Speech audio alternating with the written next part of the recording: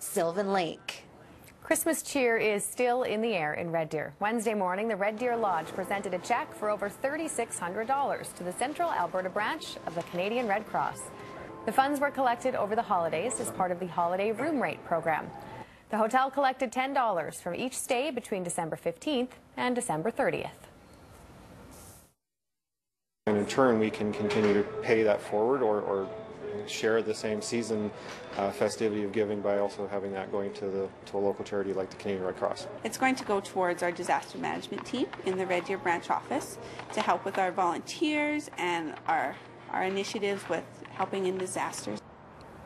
Over the past seven years, the Red Deer Lodge has collected $45,000 for the Red Cross. And here's your five day forecast for Red Deer.